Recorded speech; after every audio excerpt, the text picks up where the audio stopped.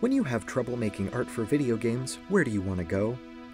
Home. Who do you feel like seeing? No one. How much time do you spend in the office? Too much. Bad art pipelines hurt in so many ways sadness, a loss of interest, anxiety. Tech Art Bootcamp can help. Tech Art Bootcamp is an all day event at GDC 2019 that treats known symptoms of poor art pipelines.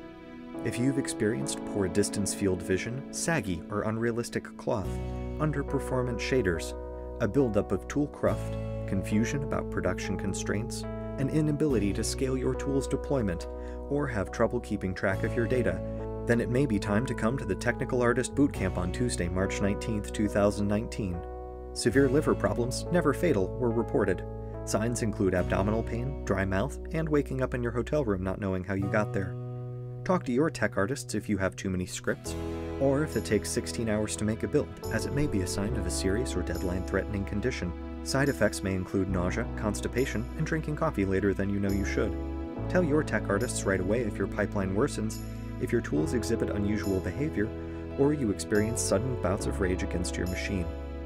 Ask your recruiters about hiring tech artists. Game development is tough. Tech Art Bootcamp can help.